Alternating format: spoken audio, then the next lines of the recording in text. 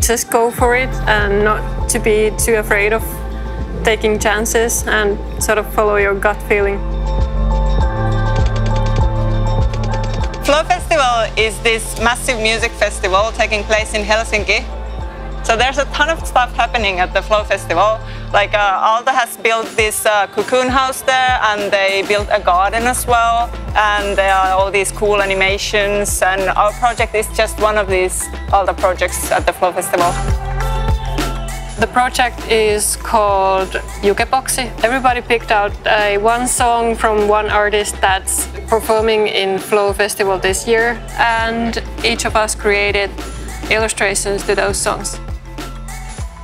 We had this uh, WhatsApp group, Flowfence Rain Gods, and everybody was uh, posting their, all these weather forecasts, like when it's safe to paint and when it's going to be raining. All in all, it wasn't that bad and everything went pretty okay.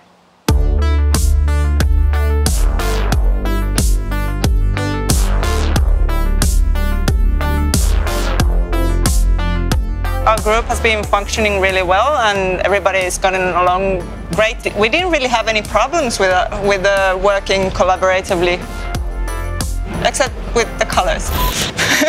so, Colorgate. We decided that we are going to use maximum of four colors. Then everybody decided that they don't want to use probably those colors.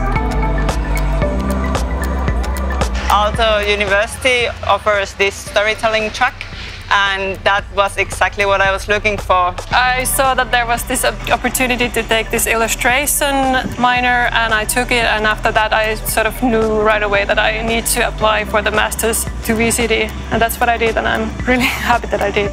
It was like my art teacher that said that I should start studying graphic design and not art because there's much more money in graphic design. So you're here for the money? yeah, I'm here for the money.